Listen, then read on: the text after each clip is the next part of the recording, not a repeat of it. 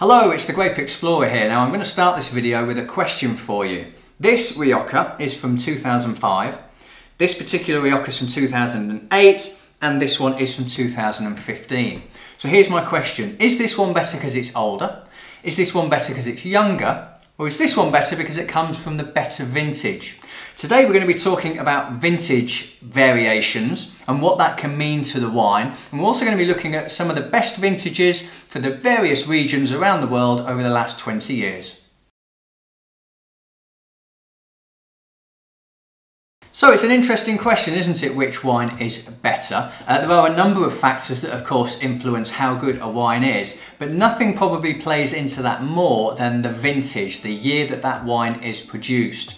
And when we're talking about the vintage and how good the year was, we're generally talking about one thing, and that's what the weather was like through the year for that particular region as the grapes were being grown. And there are so many variables when it comes to the vintage uh, that can have such a negative or positive impact on the growing of the grapes in the vineyard. So before I get on to some of the classic regions of the world and some of their best vintages over the last few years, let's have a think about what can influence growing conditions in the vineyard. So for me, weather is the biggest one. You know, um, in the Northern Hemisphere, uh, our berries are harvested around August through to October time, you know, you get your bud burst in early spring, then you get your growing of the berries through the summer before they fully ripen ready to be picked.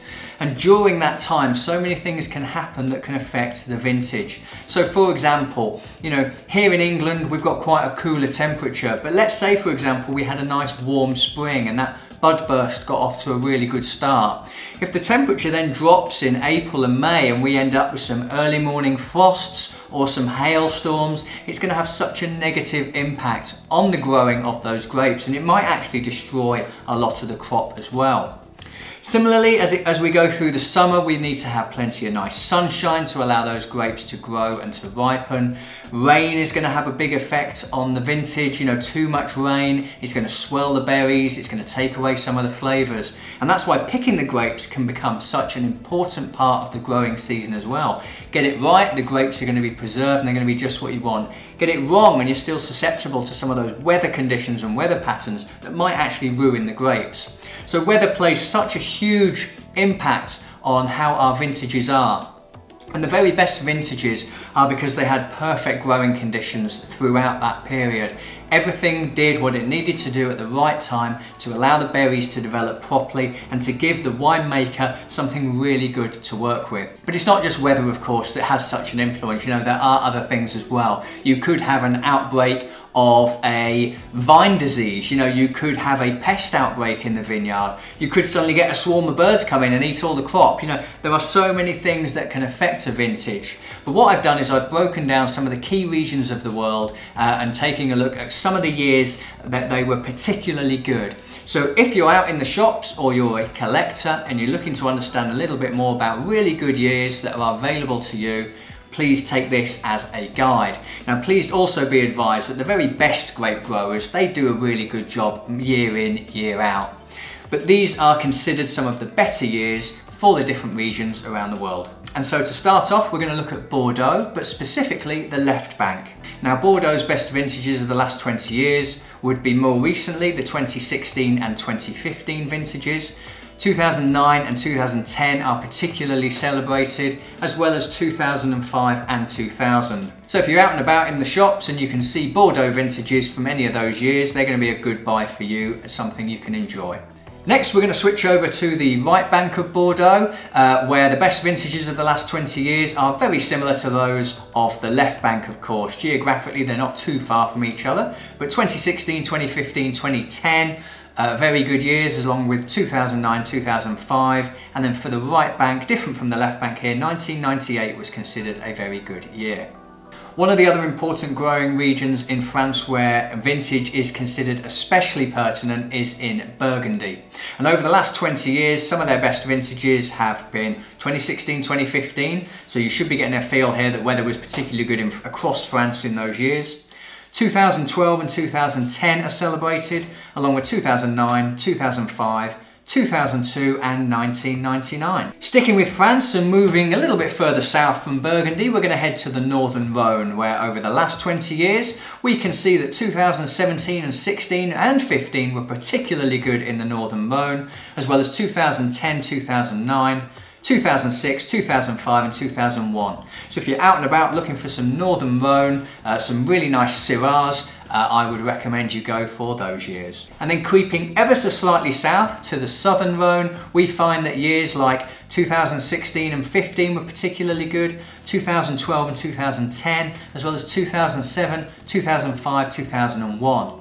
Now interestingly, 2007 is known in Bordeaux as being particularly bad, so clearly in that year you can see that the weather patterns were isolated to different regions of France the whole country didn't enjoy the same good weather as the year went on. Uh, but so 2007, hunt out those southern Rhones, your Gigondas, your Vacqueyras, your Chateauneuf du Pape's, they're all going to be really good from that year. Next we're going to move into Spain and the most celebrated region in Spain is Rioja, probably the most well known as well and particularly of interest to me where I've got these three bottles from the start. So 2015 and 2010 were particularly good along with 2009, 2005, 2004 and 2001.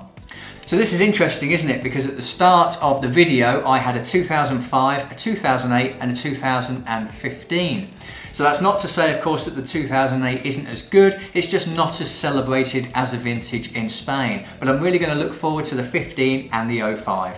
Now moving over to Italy, to Tuscany, some of the years that are celebrated in Tuscany are 2007, 2006, 2004 and 2001. So if you're hunting out some really good Chianti, uh, head over to Tuscany in those particular years.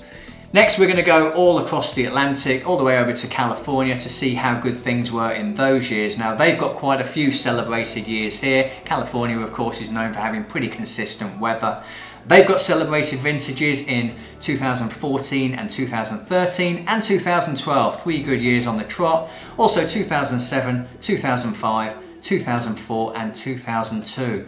So lots of choice when it comes to California. Uh, prices in California, of course, I think are quite high. Good luck finding something if, with a reasonable rate from those particular years. We're going to shoot back over to Italy now and specifically to Piedmont.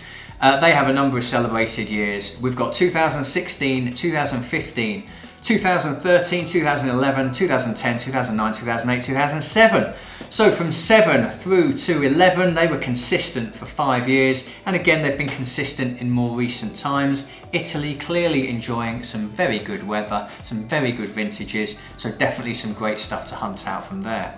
Now we're going to look at another region in France which is slightly cooler in climate and that's Chablis where notoriously vintages are difficult because of early morning frosts that they suffer earlier in the growing season. So from a Chablis perspective, we're looking at 2014 and 2005. And no doubt being able to find either of those years is going to be quite tricky. Chablis is a smaller area where winemaking takes place and no doubt these wines are going to be going for a premium. But I think the number of vintages that have been considered really good in the last 20 years just shows you how difficult it can be growing grapes within certain areas and certain climates. Next, we're going to look at another cooler climate area, and that would be Alsace in France. Now, they've enjoyed a few more good vintages in the last few years, including 2017 and 15, 2010, 2009, and 2005.